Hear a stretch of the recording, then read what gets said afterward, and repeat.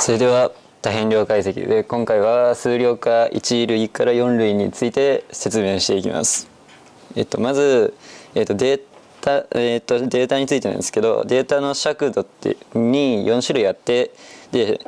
質的データでは名義尺度と順序尺度で名義尺度っていうのがその名義的に数値化してるっていうことで、まあ、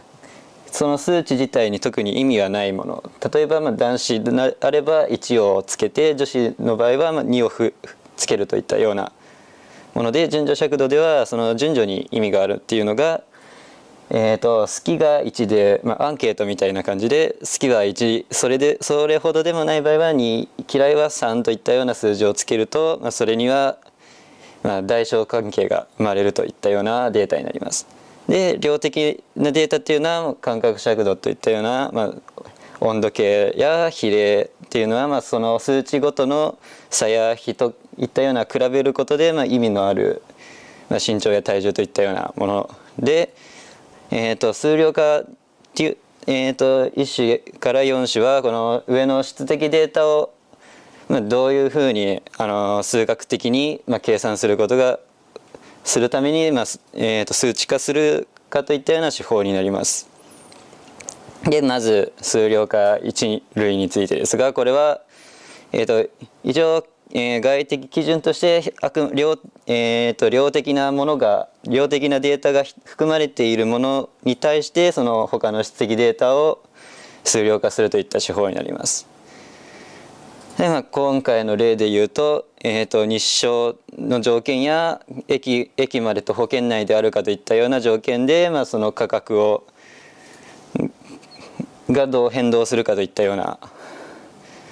調べことを調べようとするとまず、えーと、そのカテゴリーごとに、まあ、1, や 1, 1と0、まあえーと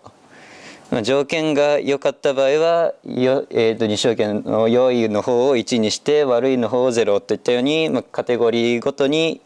1をつ1と0をつけてあの分かり、えーと、そのまず見やすくします。そして、えーと、そのえー、とその一つごとに、えー、と重さ重みをつけてそれを掛け合わせてかけて足したものをサンプルスコアとしてその、えー、と価格と比較していきいってでその全部の合計をあと最小時情報を使って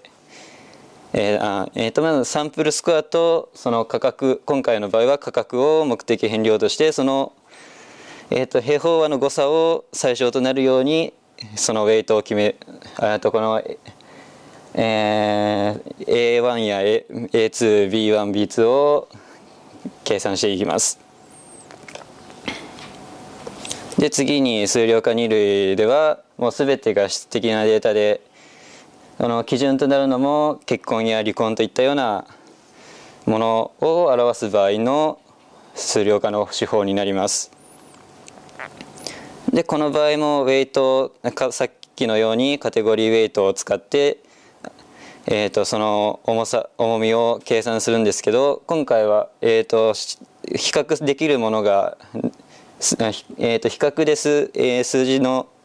さっきのような価格というように具体的に数字と比較することができないので今度は相関比というものを用いてカテゴリーウェイトを計算していきます。でまあ、相関比というのがこのように全変動と群間変動を計算することで求めることができてでそれぞれ全変動では、サンプルスコアのこの平均との差を事情で、まあ、和を取ったもの。で群間平均では今回は結婚と離婚についての違いを求めるのでその結婚の時のの場合のサンプルスコアと離婚の時の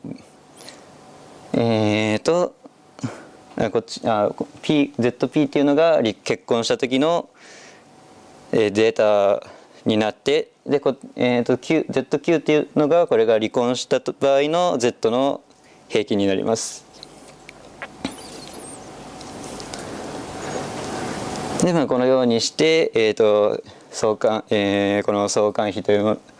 ものを求め求めてそれが最大になるカテゴリーウェイトというのを計算しますで次に数量化三類というのは、えー、とこのような表で表すことができて表で表すようなもので、えー、とそれぞれが対等カテゴリーが対等でもう比較それぞれがまあ独立というかまあ目安がもうない状態のデータを評価する手法になります。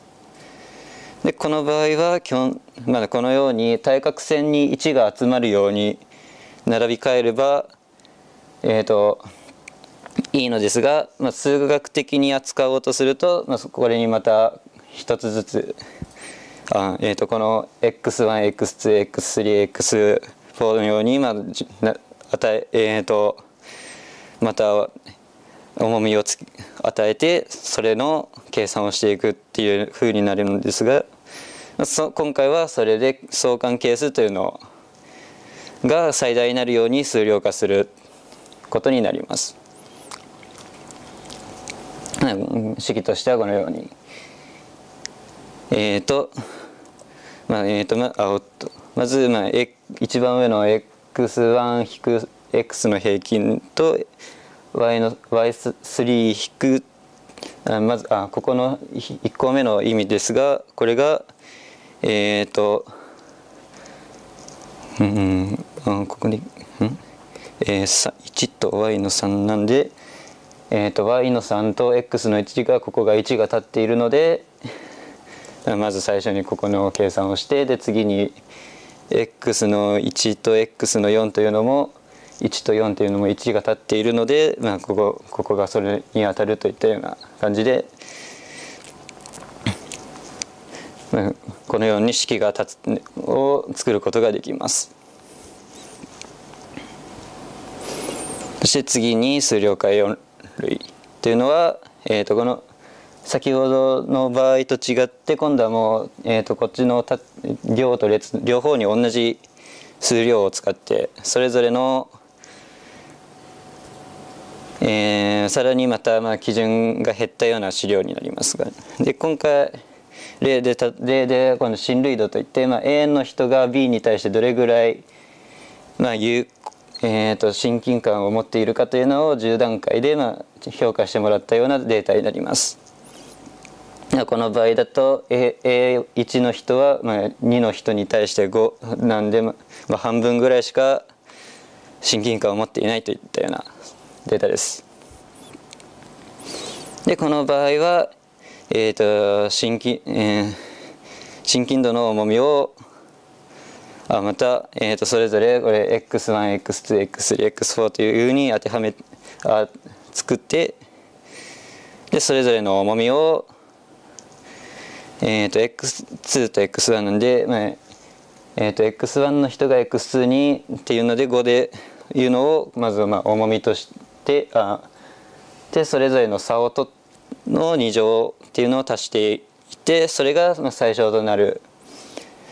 それぞれの重みを計算します。であそうですねえーと、とでその重みによってあそのこれが最終的に座標値となってでそのそれをまあ今回の場合は x しかないので一軸で一軸の、えー、と座標値となってでその距離から、えーとまあ、どれどれぐらいその人物との距離感が近いかとか遠いかっていうのを判断することができます。えー、そしてで最後に、えーと今まえー、と最大最小えーとまあ、っていうのを計算するにはまずまあ条件をつけないといけないというのでそれぞれ、ね、計算を簡単にするために、えー、と数量化一類ではカテゴリーウェイトどれか一つをまあゼロにするといったで条件をつけたり2では分散を1になるように1になってかつ、えー、と 2, 2の場合は、えー、と相関比が最大になるように。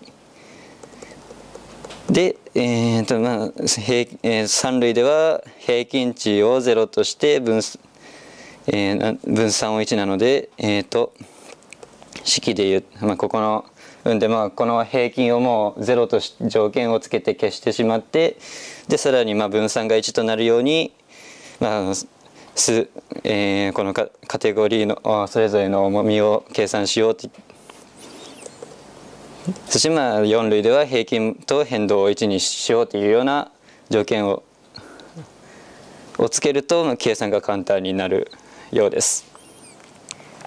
はい、という感じで,、えー、で最終最後に、えーと、今回参考にした本がこの前回も書いたんです前回と同じで多変量解析が分かるファーストブックというものを参考にしました。えっ、と以上で発表終わります。